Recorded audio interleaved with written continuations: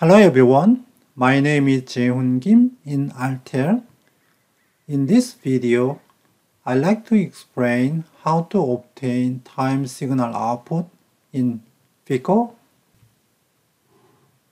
This slide shows how to time analysis in FEKO.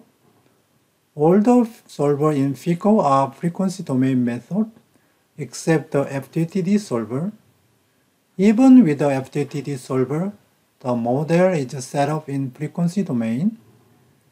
FEKO FDTD will solve the problem in time using the modulated Gaussian as the input pulse.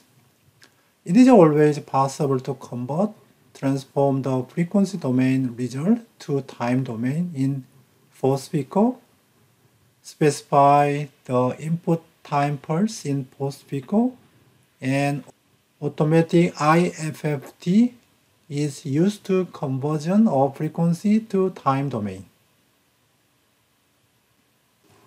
The procedure to get the time domain output, three steps.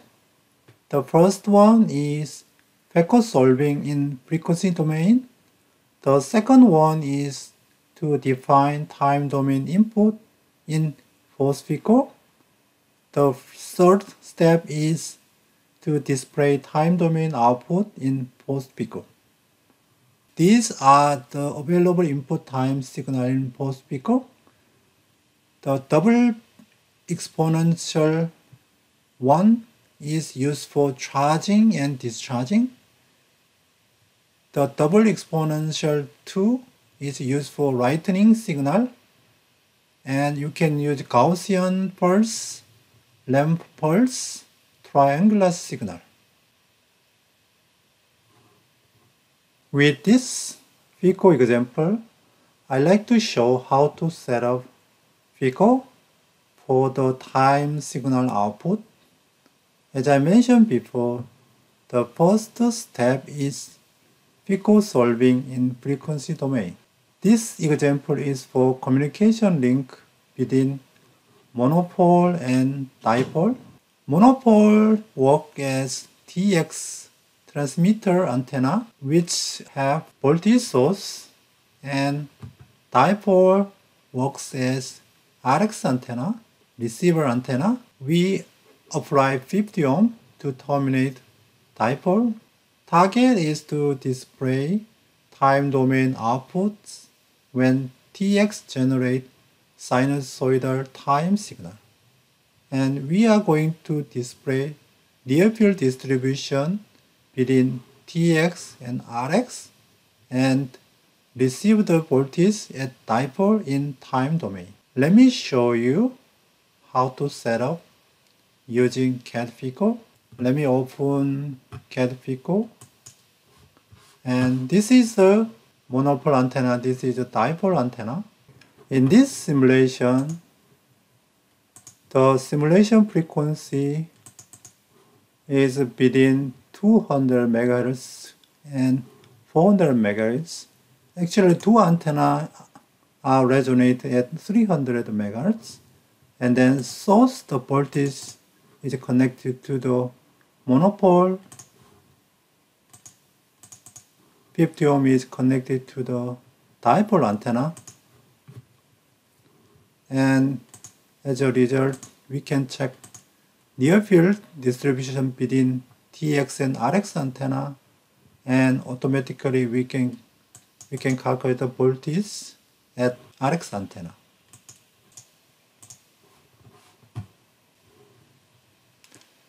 The second step is to define time domain input in post-FEKO here input time signal is a sinusoidal wave of 300 megahertz. So if you go to time analysis and then you can define new time signal. Here you can see this kind of window.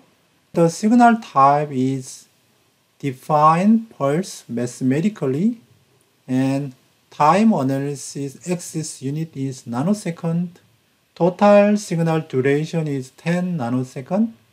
ft function of time is sine 2 pi 300 megahertz multiplied by t. So then you can see this kind of time signal and also you can see the frequency component of this time signal. Let me show you how to define this one with post-FEKO. So after solving the CAD-FEKO simulation, you can open post-FEKO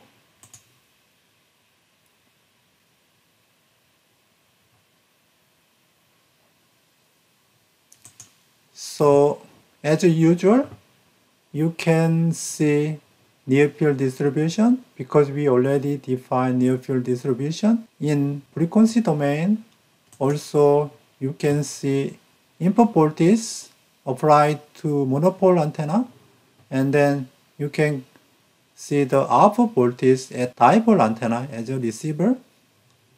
So the next step is go to time analysis and new time signal. So here I already defined time signal using this one. Then we can see modify time signal here. So as I said before, this one signal type is mathematical time signal, time axis in nanosecond, total duration is 10 nanosecond and ft is defined by using sinusoidal wave function and this is a time signal and this is a frequency domain signal. The spectrum preview of this time input signal is important. You can determine the simulation frequency in CAD-FEKO, the start frequency and end frequency.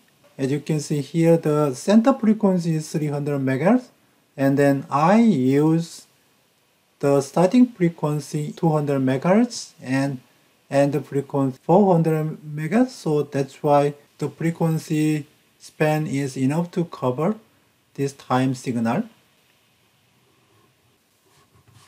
So after defining time domain input in post-FEKO then the third step is display time domain output in post-FEKO so here you can see electric field flowing in time domain and voltage at Tx and Rx in time domain.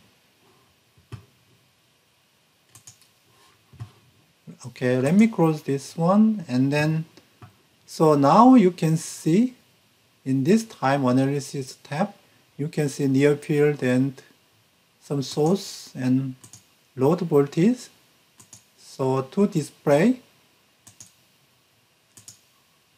the near field you need to open 3D view and then you need to go to time analysis tab and then display the near field. Near field is displayed in the time domain. So let me select dB scale. So as you can see, this one is time domain. Okay, time domain signal. So you can see the waveform in this near field distribution. And also you can open Cartesian here. And then you need to go to time analysis. And then you can see TX input signal, right? So of course this one should be voltage and then so you can see the voltage average is 0, the highest maximum value is 1 and minimum value is minus 1 so you can see the time signal and then whose frequency is 300 megahertz. And you can also check the output. This which should be voltage of course this output has some delay and whose uh, output magnitude is uh, smaller than the TX voltage so let me go back to near field. So here you can you can uh, use this animation okay in time domain. Okay as time goes on then you can see that some wave is coming from here to the to approach to the TX antenna. So let me go back to the original PPT. Okay, this is the end of this video. Thank you for watching